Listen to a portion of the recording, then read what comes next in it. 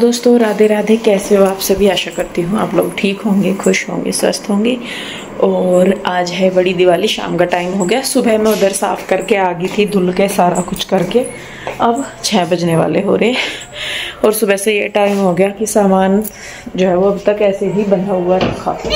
मतलब कहीं भी कुछ नहीं हुआ। अब आया है ऑटो अब हमें रखना है सामान। अंदर होके वो बेटे सामान नहीं जाएगा और देखते हैं बस जो जो जाएगा जैसे जैसे जाएगा करके कि जो जो ज़रूरी है वो लेके जाएँगे। और सच में घबराहट सी हो रही इस बार मुझे खुद नहीं समझ में आ रहा क्योंकि हर बार तो ये होता था कि जहाँ जाते थे वो मकान कंप्लीट होते थे, सारा कुछ होता था, सामान रखते थे। अब जा भी रहे हैं तो अनकम्प्लीट घर में जा रहे हैं। पर यह है कि माता रानी करेगी, कृष्ण कन्हैया करेंगे तो सब कुछ ठीक ही होगा। खैर अभी मैं नहा के आई हूँ, क्योंकि सुबह से नहाना धोना भी नहीं हो पाया था मेरा अच्छी तरह। बस अभी मैंने बालों में को पानी सा निकाला, वैसे ही गर्म धूल सी घुस रही थी, और बस मैं नहाई धोई हूँ। ये सारा सामान जो है इधर जाने वाला है, बेडों का सामान है। देखती हूँ मैं, जो भी रहता है वो भी सारा मैं फटाफट समेटती हूँ। तो जी, यहाँ पे देखिए, सामान समेटना शुरू कर दिया है। कुछ तो मैंने पैकिंग की हुई ही थी पहले ही, और जो बची हुई है वो अब हो जाएगी। बची हुई क्या? मतलब आज भी सारा सामान तो आज भी नहीं उठाना था, बस ये था कि आज सामान उठा के डाल लेंगे, उधर दिवाली पूज जाएगी तो थोड़ा सा हो जाएगा। और ये जो हमारे मिस्त्री जी है ना, वही आए हुए हैं हेल्प करने के लिए। इन्होंने पहले ही बोल दिया था, इनको, इसके डैडी को ही, कि भैया जब ये करोगे तो मतलब हमें ही बुला लेना। क्योंकि वही है कि अगर किसी को बुलाते भी हैं तो उसको भी थोड़ा सा पे करना ही होता है तो ये कहने लगे कि कोई नहीं, आप मतलब हमें बुला लेना, हमें पे कर देना। और रही सामान की बात, आप लोग कह रहे थे कि दी सामान बेड वगैरह उधर चेंज करना। देखिए, करना तो सभी कुछ है अभी, लेकिन वही है कि टाइम लगेगा सारी चीज़ों में। अभी मेन फोकस बस हमारा घर पे है कि पहले घर कंप्लीट हो जाए, और उसके बाद धीरे धीरे करके अपनी सारी चीज़ें जो ख़राब हो रखी है, वो ठीक करवाएँगे। और जो नई लेने की है, वो नहीं लेंगे। लेकिन वही है कि सारी चीज़ों में देखिए टाइम लगता है, क्योंकि मकान में भी काफ़ी पैसा लग गया है और पता नहीं, देखिए मतलब मैं खुद बताऊँ, मैं हमेशा कहती हूँ इस चीज़ को कि भगवान ही करते हैं, जो भी करते हैं। देखिए, काम लग रहा है, पिछले दो महीने से तकरीबन लगातार ही काम लग रहा है और हर रोज़ का खर्चा है और मतलब भगवान ही कर रहा है सारा कुछ। देखिए, रोज का खर्चा और अपने आप को हमें नहीं पता लगता कि मतलब कहाँ से हो जाता है, कैसे हो जाता है, कैसे नहीं। मतलब ऊपर वाला इतनी कृपा दृष्टि, मैं तो कहती हूँ, भगवान सब के ऊपर इतनी कृपा दृष्टि बनाए रखे। तो जो भी है, जैसे भी है, वो सब ऊपर वाला कर रहा अपने हिसाब से। तो खैर देखिए जी, यहाँ पे सामान फटाफट से रख दे रहे हैं और क्योंकि मेरा ज़्यादातर सामान बैगों में रहता है तो इतनी टेंशन होती नहीं उठाने की। तो फटाफट से चलिए यहाँ से सामान उठाते हैं। ये छोटा पिकअप ही मंगवाया था पहले कि थोड़ा सामान लेके जाना, सिर्फ़ एक रूम का बैठ गया है। जाने लग रहा है और दोनों बेड का सामान था और थोड़ा बहुत एक्स्ट्रा भी था जो उसमें रख दिया गया था। बाकी अभी काफ़ी सारा सामान था। मैंने कहा, चलो पहले आज थोड़ा ले लेते हैं, उठा लेते हैं सामान, बाकी का बाद में उठा लेंगे। तो देखिए, यहाँ पे बेड रखा गया है। जो बैग वगैरह थे, वो इनके बेड के अंदर रख देते हैं सारे के सारे और फिर वहाँ जाके इनको निकाल लेते हैं। तो यहाँ पे देखिए, काफ़ी सारा सामान जो रखा है, ये सब क्या सब जाएगा और बस फिर उधर जाके देखते हैं क्या क्या है काम।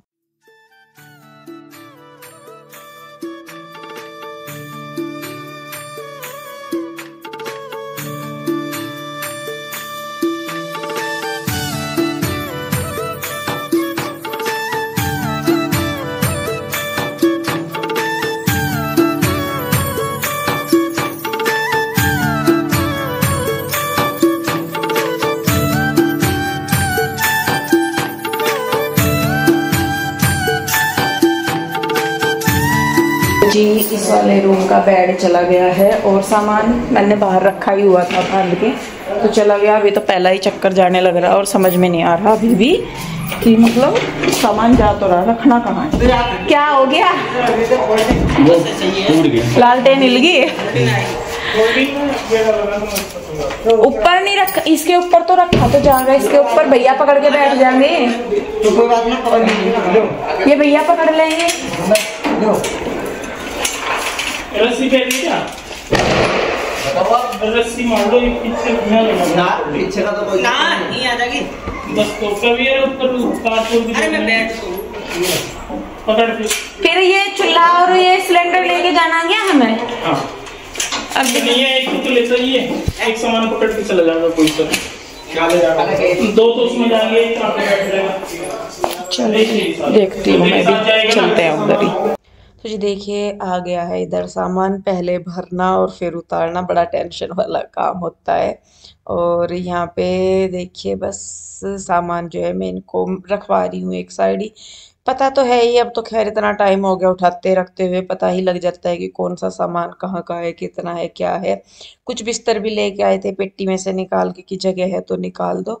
और आज सामान सेट नहीं करना था, बस ये था कि आज आ गया है बेड डाल देंगे। आज की रात यहाँ पे सोना था कि भाई सो जाएँगे कि त्योहार है, खाली नहीं छोड़ना चाहिए। तो यहाँ पे देखिए बस ये लाइट का अरेंज कर रहे क्योंकि अभी बिजली वगैरह का कोई भी कनेक्शन जो पहले है, वही है, उन्हीं में ही कर रहे हैं मतलब उन्हीं से ही बल्ब वगैरह तार लगा के काम चला रहे। बाकी अभी कुछ भी मतलब फिटिंग वगैरह हुई नहीं है। और हो भी जाती, लेकिन ये त्योहार करके अभी कोई भी नहीं आ पा रहे हैं कि भाई वो आ जाए इसके लिए फिटिंग वगैरह के लिए। और इनकी भी अभी छुट्टी की हुई है, जो ये हमारे मिस्त्री जी हैं सारे। क्योंकि त्योहार है, देखिए, सभी का ही होता है कि साल भर का त्यौहार होता है, अपना मना ले। तो यहाँ पे देखिए, बस इस वाले रूम में ये एक बेड डालना है, जिसमें ये स्टोर रूम है ना, इसमें और जिसके पीछे से वॉशिंग एरिया जाता है, उस रूम में। बाकी बस डालना ही है, सामान वगैरह भी कुछ नहीं रखना था तो मैंने कहा चलो, रात के लेटने का हो जाएगा। और ये बेड लगा दिया इन्होंने ये ना उल्टा लगा दिया था तो फिर मैंने देखा, मैंने कहा नहीं, ये तो उल्टा है, ये इधर वाली साइड का था। और बस, और हमारे, मैंने ना ये बाद में ही ध्यान दिया कि जो बेड का कलर है और जो खिड़की दरवाजों का कलर हो रहा ना हमारे, वो सेम ही है। तो मैंने कहा, चलो ये भी मैचिंग मैचिंग हो गया। तो खैर देखिए, यहाँ पे इन्होंने बेड रख दिया है, ये इसको मैं थोड़ा सा ठीक करके रख दूँगी। और ये ना, हमने जो स्टोर रूम का गेट थोड़ा बड़ा करवाया ना, ओपन करवाया तो इससे भी मतलब ऐसे लग रहा रूम की जैसे काफ़ी बड़ा हो गया है। और वॉश तो मैंने कर ही दिया था, आपने सुबह वाले वीडियो में देख ही लिया होगा कि वॉश कर दिया था हमने पूरे घर को। और वॉश करने के बाद, धोने के बाद बिल्कुल साफ़ सुथरा सा ऐसा लग रहा था कि मतलब बहुत ही अच्छा। तो खैर देखिए जी, बेड अंदर डाल दिया था और उसके बाद फिर हम लोग गए उधर। नहा के मैं आ गई थी उधर से ही। जब सामान लेके आए तो मैं नहा ली थी क्योंकि शाम को पूजा करनी थी और दिवाली थी तो नहाना आ, होता है। इस वाली दिवाली को तो कहते हैं कि मतलब सारे सारे साल का नहाना धोना एक साइड और इस वाली दिवाली का नहाना धोना एक साइड। तो खैर अमावस थी। इस दिन शाम को ही लगी थी बड़ी दिवाली को और क्या बोलते हैं इसको? तो हम लोग पहले उधर गए थे आशु वाली साइड पूजा करी। पहले हमने और फिर उसके बाद इधर आके करे थे। तो पहले सब उधर ही कर रहे थे, फिर बाद में हमने इधर जलाए और इक्यावन दिए, शायद इक्यावन दिए थे, पता नहीं एक आधा कम ही ना हो, क्योंकि ऊपर नीचे हो जाते हैं, लाने ले जाने में टूट भी जाते हैं। तो यहाँ पे ये दिया बत्ती है, मैं और आशु कर रहे हैं। मैं आशु क्या सारे ही लग रहे हैं, ये वाले काम कुछ इस तरीके के होते हैं कि बच्चों को भी लगता है कि हम भी करें और पीछे की साइड देख रहे होंगे, ऐसा हो रहा है। और बस मन में थोड़ा सा ये भी है कि हाँ भाई, सामान रखना, बड़ा बड़ा सामान रखने में इतनी दिक्कत नहीं आती जितना छोटा रखने में होती है, उसे समेटना थोड़ा सा मुश्किल हो जाता है। और क्योंकि अभी लकड़ी का जो काम है वो हम अभी नहीं करवा रहे, पहले ये वैसे काम करवा के फिर लकड़ी का काम करवाएँगे तो अलमारी वगैरह भी अभी नहीं है। तो यहाँ पे देखिए, बस खुशी भी और दुख भी दोनों साथ साथ है। दुख तो खैर वो तो मन से निकलता ही नहीं। और यहाँ पे देखिए जी, बस अब दिए लगा दिए हैं पीहू के रेडी कुछ खील पता से रह गए थे, वो लेने गए हैं। खाना उधर ही बना दिया था शुने हलवा, पूरी, खीर था और सब्ज़ी थी और मिठाई थी। बाकी हर साल की तरह तो हुई नहीं पूजा। और मैं सही में बताऊँ, पिछले जब से मैंने अपना घर छोड़ा, ये पहली बार ऐसा होगा कि मैं मतलब गाँव में भी मनाई मैंने दिवाली पिछले साल भी गाँव में ही मनाई थी दिवाली। लेकिन एक जो कह सकते हैं ना कि हाँ भाई, अपने एक प्रॉपर ठिकाने पे मैं पिछले चार साल में ये मेरी पहली दिवाली है जो मैं अपने घर में मनाऊँगी। नहीं तो कभी आशु के पास मना ली, कभी गाँव में जाके मना ली। इस तरीके से मतलब किराए के घर जो थे, उनमें भी दिवाली नहीं मनाई गई। एक बार भी नहीं हुआ है ऐसा कि भाई हाँ मनाई गई हो, क्योंकि मम्मी कह देते थे कि उधर वो अपना घर है, वहाँ जाके दिवे जला लो, वहाँ जाके दिवे जला लो, ऐसे बोलती थी मम्मी। तो फिर वहीं जाना पड़ता था और क्या करते जी? और फिर गाँव में चले जाते थे या तो फिर पिछले साल भी गाँव में चले गए थे, उससे पिछले साल भी हम लोग गाँव में चले गए थे दिवाली पे। तो खैर जी, इस बार राम जी ने ऐसा किया है कि दिवाली जो है वो अपने घर में मना रहे और कहते हैं ना कि राम आ गए अपने घर में तो हमें तो यही लग रहा कि वाकई में ही मतलब भगवान जो करते हैं, अच्छे के लिए ही करते हैं, जो दुख तकलीफ़ जीवन में देते हैं, किसी के भी तो वो कुछ अच्छा करने के लिए देते हैं। और ये चीज़ तो खैर मैं आप लोगों से भी कहूँगी कि अगर जीवन में थोड़ी सी दुख तकलीफ़ आ रहे हैं तो प्लीज़ घबराइए मत। हालाँकि मुझे कहनी नहीं चाहिए ये चीज़, क्योंकि मैं खुद उस चीज़ पे नहीं रह पाती कि दुख तकलीफ़ आए और हम ना घबराए। लेकिन आज जब मैं यहाँ पे बैठ के सारा कुछ देखती हूँ, करती हूँ तो ऐसा लगता है कि नहीं, हमने अपने जीवन में जो भी दुख समझ लीजिए, तकलीफ़ समझ लीजिए, संघर्ष समझ लीजिए या कुछ भी समझ लीजिए, औरों के मुकाबले तो खैर वो कुछ भी नहीं था जितना और लोग संघर्ष करते हैं अपने जीवन में। पर वही है ना कि कहते हैं कि दुख अपना ही बड़ा लगता है, तकलीफ़ अपनी ही बड़ी लगती है और सुख हमेशा दूसरे का बड़ा लगता है। तो उसमें मैं देखती हूँ कि नहीं वो सब कुछ आज ऐसा लगता है कि नहीं वो सब कुछ जो हुआ ना वो अच्छे के लिए था। अगर वो सब ना होता तो शायद आज इस चीज़ की इतनी खुशी ना होती। हाँ पापा जी का अगर मैं देखूँ, पापा जी होते तो ये चीज़ और ज़्यादा अच्छे से हो जाती और ज़्यादा उससे होती। पर फिर भी ये है कि उनकी दुआएँ थी, उनके सामने ये चीज़ ली गई थी, मकान लिया गया था, उनके सामने ही मकान में काम लग गया था तो वो भी मेरे लिए बहुत बड़ी बात है कि कम से कम उन्हें भी इस चीज़ की संतुष्टि है कि हाँ क्योंकि उन्हें मेरी तरफ़ से ये रहता था मेरे पापा जी को कि हाँ मैं मतलब परेशान हूँ घर की वजह से और सामान उठाना पड़ता है। तो वो थे उस चीज़ से परेशान। पर उनको ये संतुष्टि बाद में होगी थी कि चल मकान लिया गया और अब अपना प्रॉपर हो जाएगा। बल्कि मेरे पापा जी ने बोला था कि, बेटे देख लो, जैसे अभी करना तो ठीक है, अगर नहीं भी है तो अपना जाके रहने लगो, अपनी छत होगी, वो बहुत बड़ी बात है। मैंने कहा, फिर इसके घर की कंडीशन थी नहीं वैसी कि इसमें रहा जा सके। फिर मैंने कहा, नहीं पापा जी, इसमें काम लगाना पड़ेगा। तो फिर भी वो यही कहते कि, चलो देख लो भाई, जैसा तुम्हारा हिसाब बने वैसा कर लो। तो उन्हें भी कहीं ना कहीं इस चीज़ की संतुष्टि थी कि हाँ चल भाई, ये परेशान है तो इसकी ये दिक्कत हो जाएगी, ठीक। तो वो भी है कि एक ब्लेसिंग है उनकी भी कि वो इस तरीके से थोड़ा सा मेरी तरफ़ से संतुष्ट थे। तो माँ बाप को देखिए होता ही है और खैर बस मैं वही बता रही हूँ कि सारी चीज़ों को अगर मैं पीछे मुड़ के देखती हूँ ना तो आज मुझे लगता है कि नहीं, वो सब कुछ मतलब कहते हैं ना कि मुझे वो शब्द नहीं मिल रहा जिससे मैं बता सकूँ कि सब्र का फल मीठा होता है या कुछ भी, वो वाली चीज़ है।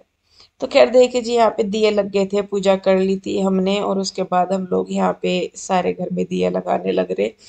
और ये साल तो खैर चलिए जैसे भी निकल रहा है, निकल ही रहा है, ये त्योहार जैसे भी जा रहे हैं, जा रहे हैं। पर कोशिश करेंगे कि भगवान अगले साल सब कुछ अच्छा रखे, भगवान ढेरों खुशियाँ दे सबके जीवन में कि सब अपने त्योहारों को बहुत अच्छे से मना सके। वो लोग जो आज मेरी तरह परेशान थे कि अपना घर नहीं है, भगवान करे, अगली दिवाली वो सब भी अपने अपने घरों में मनाए, क्योंकि दुख देखे तकलीफ़ होती है, हर चीज़ की होती है, हम दिखाए ना एक अलग चीज़ है, लेकिन कहीं ना कहीं हर चीज़ अंदर ही अंदर तोड़ देती है, कई बार तो बहुत तोड़ देती है, कि मतलब समझ में नहीं आता कि इस चीज़ को हम कैसे करें। खैर जी, चलिए हाँ मैं तो बस यही है कि भगवान, माता रानी, लक्ष्मी माता करे कि सब अपने अपने घरों में खुश रहे, सबके घर अपने अपने परमानेंट अपने स्थानों की हाँ वो जहाँ पे अपना सब कुछ शेयर कर सके, दुख, सुख जो भी है। तो खैर, देखिए जी, यहाँ पे मैं लगा रही थी छत पे दिए और एक एक करके मैंने पूरी छत पे चारों तरफ़ दिए लगा दिए थे। और वही है, बच्चों के लिए पटाखे लाए हुए थे तो वही चक्री और एक आधे बम से भी थे अनार था। तो बच्चे वो छोड़ना शुरू कर दिया था इन्होंने। और वैसे तो हवा चले ना चले, लेकिन दिवाली वाले दिन तो पता नहीं दियो को ही हवा लगती है क्या कि जलाते रहो, वो बुझते रहते हैं, जलाते रहो, वो बुझते रहते हैं। तो खैर देखिए जी, बस यहाँ पे बच्चों ने शुरू कर दी है, करनी दिवाली अपनी मनानी, और इस दिवाली हम लोग भी अपने घर में आ गए हैं, और बस माता रानी करे सब कुछ अच्छा हो, सब कुछ मंगलमय हो, सब कुछ शुभ शुभ हो। तो यहाँ पे जी बस इसी शुभकामना के साथ अब इस वीडियो को मैं रोकूँगी यही पे। कैसी लगी? कमेंट करके ज़रूर बताइए। अगर अच्छी लगती है तो प्लीज़ इसे लाइक करें, शेयर करें, सब्सक्राइब नहीं किया है तो कर लें। और बस आप लोग भी खुश रहिए और प्लीज़ भगवान पे भरोसा रखिए, क्योंकि भगवान आज नहीं तो कल सब कुछ अच्छा ही करेंगे। आज दुख है तो कल को वो सुख देंगे ही देंगे। तो जी चलिए बस फिर मिलते हैं। राधे राधे। Bye bye. जय माता दी।